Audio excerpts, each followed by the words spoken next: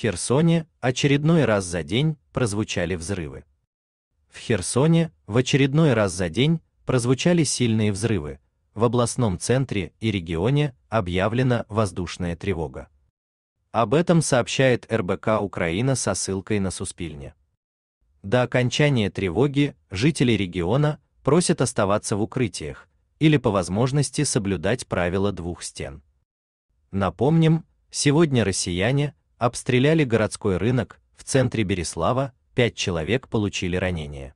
Также РБК Украина сообщала, что 13-летний мальчик дважды попал под обстрел россиян в новогоднюю ночь. Он находится в тяжелом состоянии. Кроме того, стало известно, что численность населения Херсона в начале полномасштабного вторжения россиян составляла более 330 тысяч человек. Однако с 24 февраля 2022 года их количество сократилось более чем в пять раз. Срочные и важные сообщения о войне России против Украины читайте на канале РБК Украина в Телеграм.